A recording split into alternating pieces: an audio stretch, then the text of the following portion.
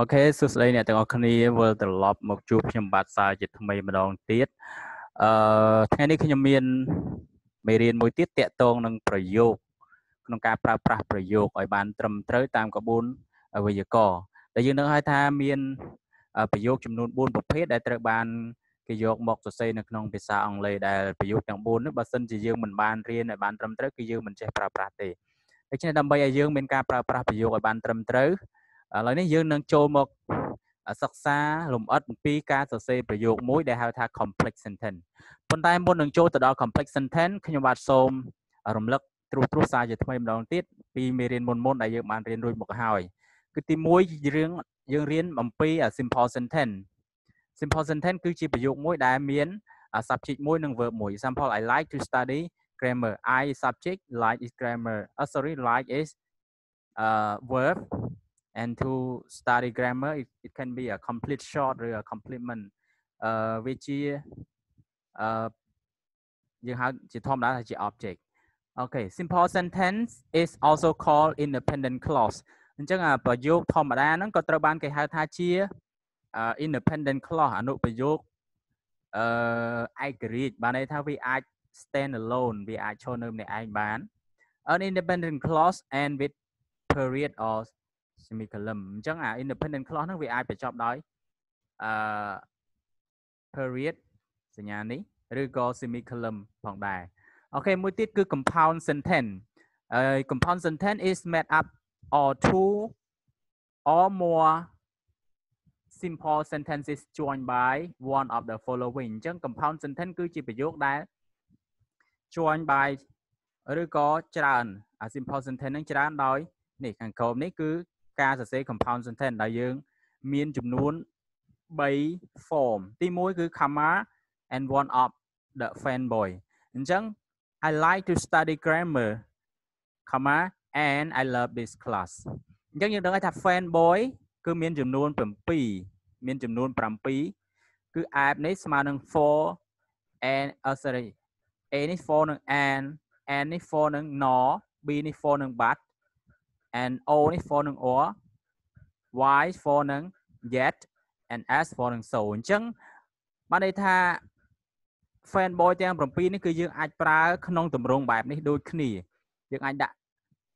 and យើងអាចដាក់ for យើងដាក់អាចដាក់ and uh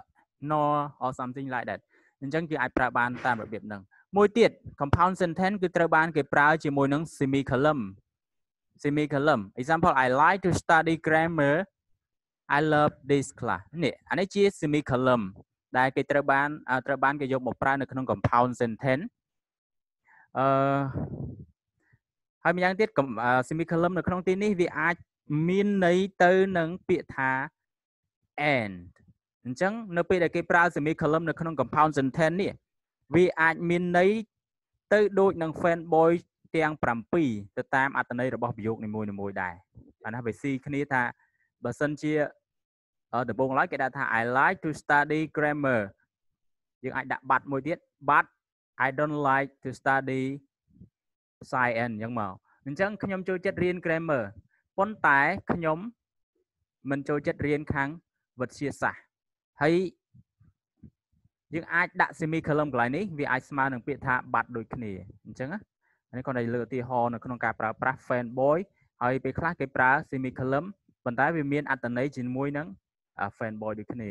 អូខេទី3គឺគេប្រើ semicolon and a, con, a transitional transitional បានន័យថាពាក្យសម្រាប់ភ្ជាប់ណា I like to study grammar semicolon therefore I love this class អញ្ចឹង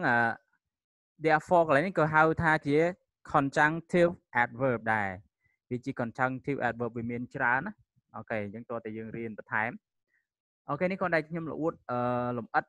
ត្រួសត្រួសអំពីការប្រើប្រាស់ប្រយោគទាំងពីរខាងដើមដែលយើងបានរៀនរួចមកហើយទេអ្វីដែលយើងចង់ផ្ដោតសំខាន់នៅក្នុងពេលនេះគឺ complex sentence អូខេ so what is complex sentence យើងយកពាក្យថា complex complex បានន័យថាវាស្មុគស្មាញអញ្ចឹងទៅអញ្ចឹងយើងមកមើលអត្ថន័យនិយមន័យរបស់ complex sentence ដូចតទៅ Okay complex sentence is a sentence that contains an independent clause and one or more dependent clauses an independent clause can stand alone as it as a sentence but a dependent clause even though it has a subject and a verb cannot stand alone អញ្ចឹង complex sentence គឺជាប្រយោគដែលមាន one ដែលមានអនុប្រយោគឯករាជ្យចំនួន1ឬនឹងមានមួយឬក៏ នេះមានអឈ្នាប់អនុប្រយោគមិនឯករាជ្យចំនួន ច្រើនអញ្ចឹងទៅហើយ independent clause វាអាចឈរនៅ ម្នាក់ឯងជាប្រយោគបានប៉ុន្តែ dependent clause ទោះបីជាវាមាន subject មានកិរិយាសព្ទក៏ដោយប៉ុន្តែវាមិនអាចឈរនៅម្នាក់ឯងបានទេវាមិនអាចខ្វះវាមិនអាចមានតែប្រយោគនឹងតែម្នាក់ឯងបានទេដោយសារអីវាមិនមែនជា complete short យើងស្ដាប់អត់យល់ឥឡូវយើងមកមើលតទៅទៀត complex sentence complex sentence is a simple sentence អញ្ចឹង complex sentence វាជាប្រយោគធម្មតាដែរទេនេះ independent clause វាជា independent clause អនុប្រយោគឯករាជ្យហ្នឹងដែលជា to which a part of a sentence ហ្នឹងគឺ has been added ប៉ុន្តែផ្នែកនៃប្រយោគហ្នឹងត្រូវបានគេបន្ថែមតទៅទៀតឧទាហរណ៍ because I like to study grammar I love this class អូខេអញ្ចឹងអានេះអានេះជា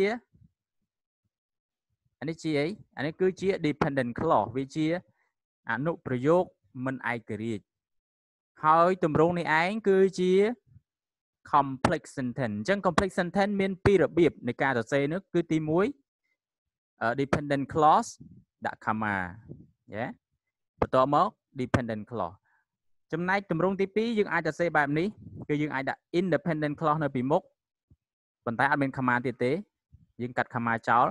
because I like to study grammar អញ្ចឹងអា because I like to study grammar គឺជា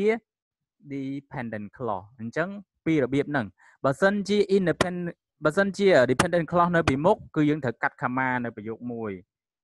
នៅពីមុខ independent clause ប៉ុន្តែបើសិនជា independent clause នៅពីមុខវិញគឺយើង មិនបាច់ដាក់ទេ គឺគឺវាមានរូបរាងបែបនេះ Okay as you may have noted from the example above a complex sentence can either stand with an independent clause or the subordinate clause អូខេអញ្ចឹងដូចដែលយើងបានសម្គាល់មកពីឧទាហរណ៍ពីខាងលើហើយ complete sentence គឺវាអាច ចាប់ផ្ដើមជាមួយនឹង independent clause ឬក៏ subordinating clause ឬក៏យើងហៅថាជា dependent clause អឺ subordinate clause come first you must add a comma បើសិនជាអា subordinate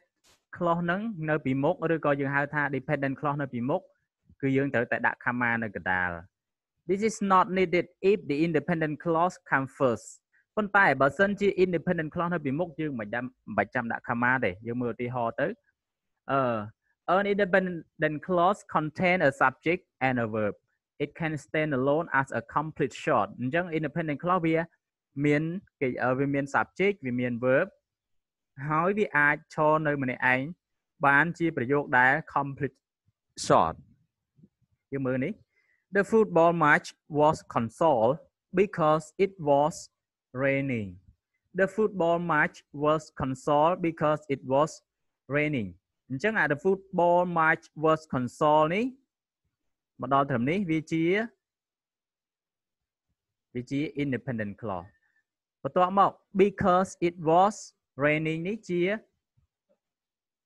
ជាអីគឺជា dependent clause អញ្ចឹងនៅក្នុងនេះគឺអត់មានដាក់ comma ទេនេះប៉ុន្តែប្រយោគទី2 because it was raining វាជា dependent clause យើងត្រូវ comma មួយ the football match was cancelled អញ្ចឹងនេះអញ្ចឹងយើងដឹងហើយថាការសរសេរប្រយោគ complex sentence គឺមានពីររបៀបហ្នឹងគឺ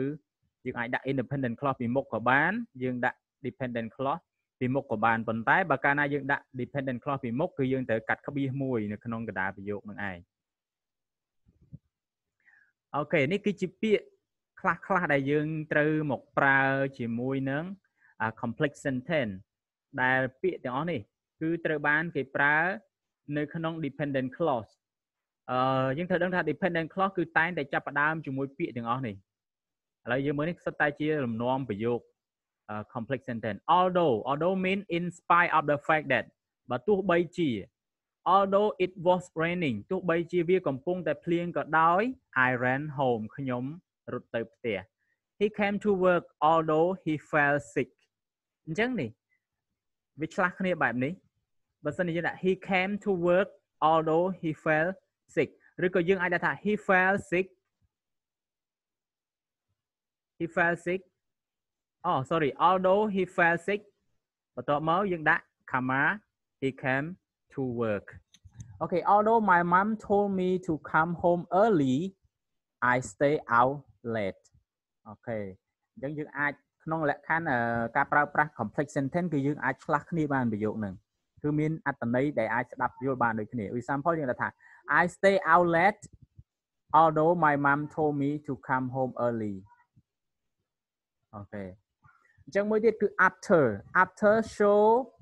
sequentially to the time when អញ្ចឹងវាប្រាប់ពីពេលវេលានៅពេលណា example call me after you arrive at the station we couldn't see the film after electricity went out. Sorry this one is not uh, conclude. Okay. I always tell my daughter that she can have dessert sorry dessert after she eat her dinner. I always tell my daughter that she can have dessert after she eats her dinner អញ្ចឹង I always tell my daughter that នេះអឺ that នេះវាជាពាក្យ sorry អូខេនេះជាអឺ sorry that's a mistake តោះទៅមុខទៀតអូខេអញ្ចឹង before before ក៏ត្រូវបានគេប្រើនៅក្នុង dependent clause ដែរ we show early than the time that វាវាបង្ហាញពីពេលវេលាអូខេពេលវេលាណា ដែលពីមុនអូខេ he had written a living will before he died before he contacted me i was going to calm him I need to finish the report before the manager arrive from Paris អូខេអញ្ចឹងនេះគឺជាពាក្យដែលយើងប្រើប្រាស់នៅក្នុងប្រយោគ complex sentence ឬក៏យើងត្រូវបានគេប្រើនៅក្នុងអឺ dependent clause ដែលវាតែងតែចាប់ផ្ដើមជាមួយនឹងពាក្យទាំងអស់នេះអូខេមួយទៀតគឺ if if ប្រសិនបើអូខេ it is if it is Sunday tomorrow, we can go to the park.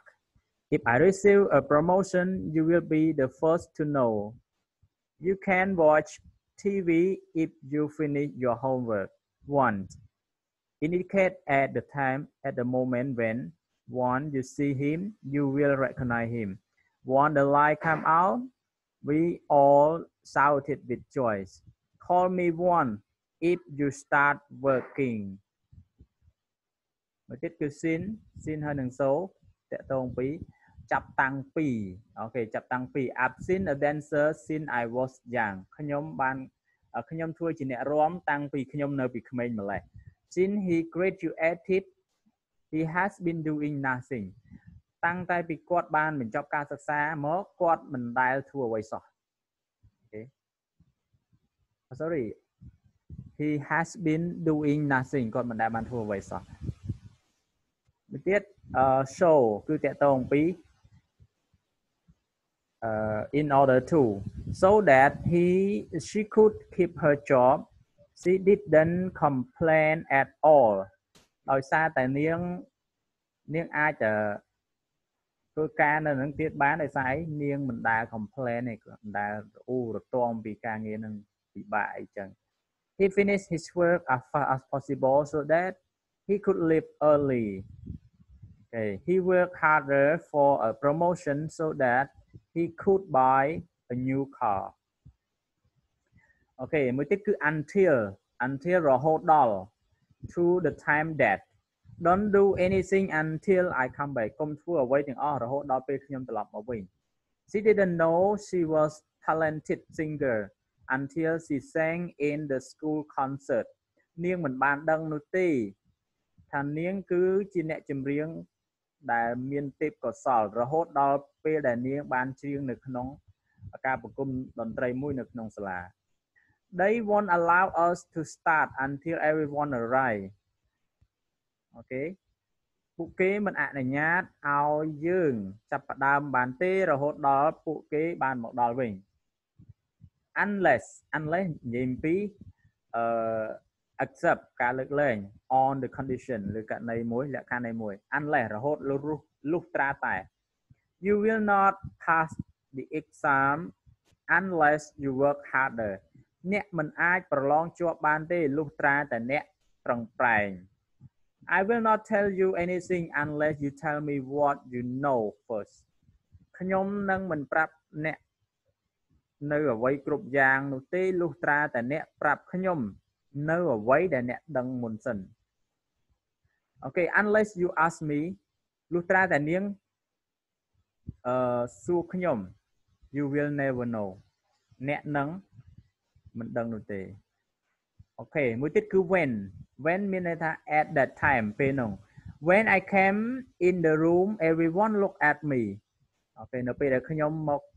អឺ came in the room ខ្ញុំចូលមកបន្ទប់ everyone អ្នកគ្រប់គ្នាហ្នឹង អឺក៏លេចមកមើលខ្ញុំ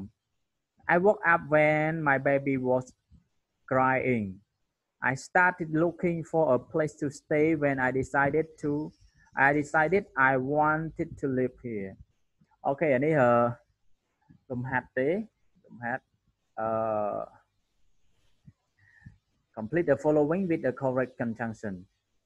តែយើងប្រើពាក្យណាឲ្យត្រឹមត្រូវនៅក្នុងប្រយោគទាំងអស់នេះអូខេអញ្ចឹងអឺ ចាំបាច់ទេOK អញ្ចឹងមេរៀនរបស់យើង គឺមានប៉ុណ្ណឹងថ្ងៃនេះហើយបើសិនជាឆ្ងល់អីយើងអាចសួរបន្ថែមតាមរយៈក្រុម chat របស់យើងទាំងអស់គ្នា OK អញ្ចឹងមេរៀនរបស់យើងគឺមានប៉ុណ្ណឹងហើយសូមអរគុណសម្រាប់ការតាមដានទស្សនាបើមានសំណួរឬក៏មានការខុសឆ្គងត្រង់ណាសូមជួយ comment ប្រាប់ពីកំហុសផងដោយសារតែធម្មតាទេកំហុសតែងតែកើតមាន ចំពោះអ្នកដែលធ្វើអញ្ចឹងខ្ញុំបាទនឹងទទួលរកទទួលយកនៅរាល់ការស្ថាបនារបស់បងប្អូនទាំងអស់គ្នាដើម្បីអភិវឌ្ឍសមត្ថភាពរបស់ខ្ញុំបន្តហើយសូមអរគុណសូមជម្រាបលា